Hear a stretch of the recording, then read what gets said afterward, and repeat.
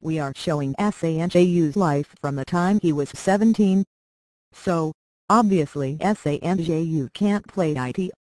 We wanted an actor who looks like a star, is a good actor, who can gain weight and become like that. RANBIR is a fantastic actor.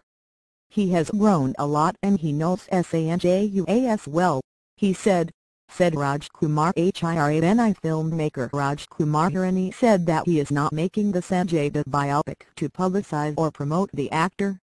I take a lot of time to make a film. I will never make a film to propagate a friend. Then they told me about the film, I said that I don't understand this world, till I actually heard his story.